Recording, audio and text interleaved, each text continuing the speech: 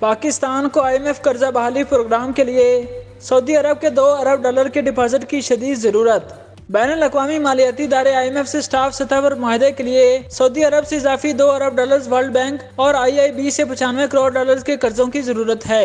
वजारत खजाना के एहलकारों को उम्मीद है कि पाकिस्तान, सऊदी अरब से ये सहूलत हासिल कर लेगा। ताहम आई एम एफ़ के अल्तवा में इमदादी प्रोग्राम की बहाली के लिए वर्ल्ड बैंक से मुतल एशियाई इंफ्रास्ट्रक्चर इन्वेस्टमेंट बैंक से पचानवे करोड़ डॉलर के कर्जे की वसूली होना भी ज़रूरी है। वज़ीर खजाना इसाक शाकडार ने पहले ही उम्मीद ज़ाहिर की है कि आई एम एफ़ से स्टाफ सतह पर माहदा आंदा चंद दिनों में तय पाया जाएगा।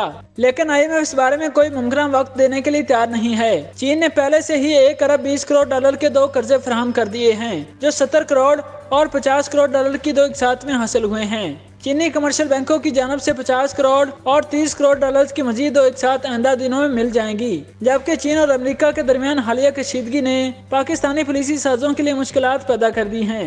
पाकिस्तान के वसी तर मफादात में इन्हें अपनी इकतदी और सफारतकारी में नाजुक तोज़ुन को बरकरार रखना होगा। आई एम एफ़ से एक अरब डॉलर कर्जे की आंदा किस्त के असूल के लिए पाकिस्तान ने तमाम शरात पूरी करते हुए मतलूबा इकदाम कर दिए हैं, जिनमें मनी बजट का इजरा भी शामिल है, ताकि 170 अरब रुपए के इजाफी टैक्स हासिल किए जा सके।